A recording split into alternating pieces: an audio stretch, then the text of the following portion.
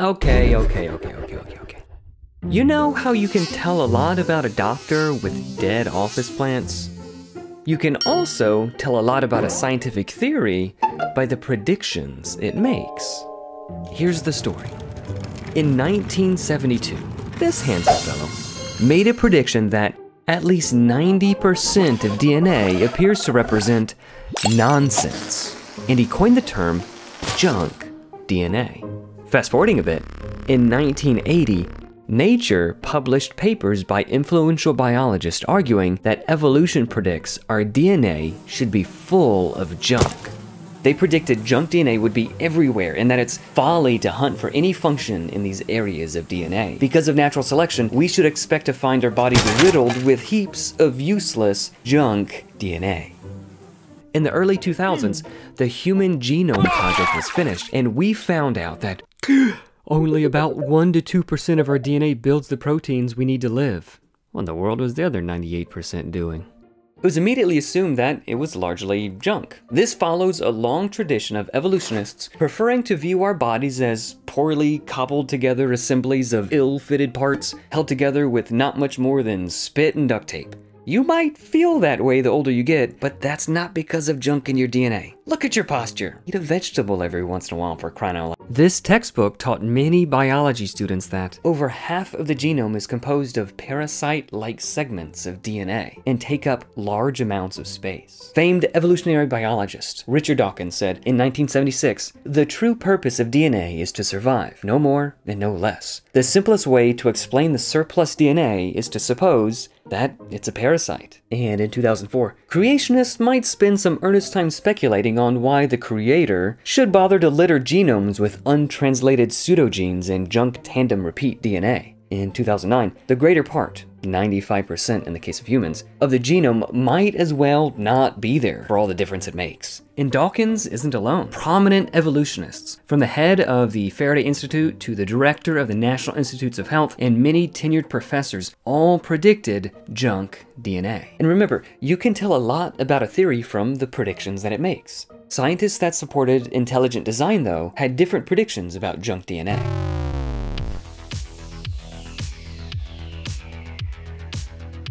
Ever since the beginning days of the ID movement in the 1990s, ID proponents had predicted that the junk DNA would turn out to be largely functional. What would cause these scientists to go against the tide of decades of established scientific thought? Why does ID predict function for junk DNA? It's simple. Because intelligent agents make things with purpose and function. They have reasons for why they do things. Perhaps the earliest ID prediction of a function for junk DNA came in 1994, when pro-ID scientist Forrest Mims submitted a letter to Science warning against assuming that junk DNA was useless. Science would not publish the letter. In 1998, William Dembski predicted function for junk DNA, arguing that even the term junk DNA discouraged scientific inquiry, a label that cloaked scientific ignorance with a veneer of confidence. He says, on an evolutionary view, we expect a lot of useless DNA. If, on the other hand, organisms are designed, we expect DNA, as much as possible, to exhibit function. Design encourages scientists to look for function where evolution discourages it. In 2002, biologist Richard Sternberg published a peer-reviewed paper in the Annals of the New York Academy of Sciences, stating the selfish DNA narrative and allied frameworks must join the other icons of neo-Darwinian evolutionary theory that, despite their variance with empirical evidence, nevertheless persist in the literature. In other words, the idea of junk DNA was like an idol in the scientific community. Empty, but nevertheless handed down due to tradition rather than evidence. In 2004, biologist Jonathan Wells argued, the fact that junk DNA is not junk has emerged. Not because of evolutionary theory, but in spite of it. On the other hand, people asking research questions in an ID framework would presumably have been looking for the functions of non-coding regions of DNA all along, and we might know considerably more about them. In 2011, Wells wrote The Myth of Junk DNA, citing hundreds of peer-reviewed papers finding function for junk DNA. In 2012, a game-changing paper was published in Nature from ENCODE, a consortium of hundreds of researchers from all around the world. It found that 80% of DNA shows evidence of functional biochemical activity. Well, so that means 20% is still junk, right?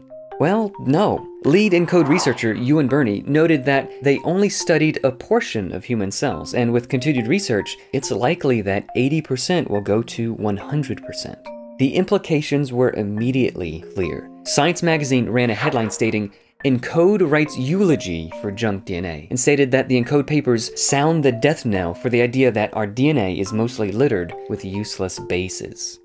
Apart from a zealous faction of hardline evolutionists, the consensus of biologists now recognizes that junk DNA isn't junk but has important functions. In other words, junk DNA was an evolutionary myth. More recent papers confirm this. This 2021 paper declares the days of junk DNA are over. This article in Nature 2021 finds over 130,000 specific functions identified for genomic elements previously called junk DNA. This article says the genome is far from what was once called islands of genes among intergenic deserts. James Shapiro, University of Chicago. The concept of abundant, selfish, or junk DNA in complex genomes is mistaken. This 2023 paper in Bioessays declared a paradigm shift away from the concept of junk DNA.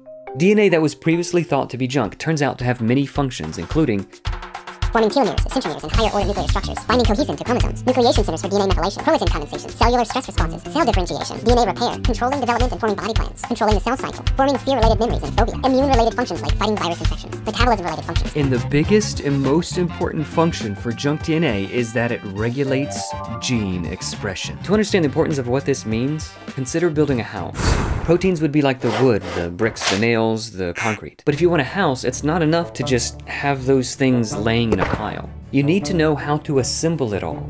In other words, you need a blueprint. Instructions to tell you how to build the house are just as vital as the physical materials themselves.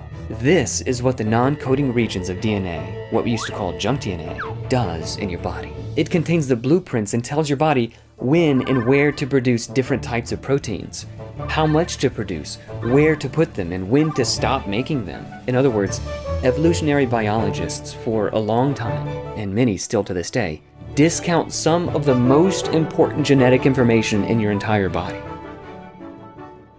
The story of junk DNA shows that scientists who support intelligent design not only made a prediction that turned out to be true and helped progress science forward, but also evolutionary theory hindered science by discouraging inquiry for years in this very important part of our genome. After ENCODE, most biologists today recognize that junk DNA is highly functional. So how did evolutionists react? There were some intellectual objections to the evidence, but mostly they got angry. They tried to rewrite history, or they tried to deny the data to salvage their beloved theory.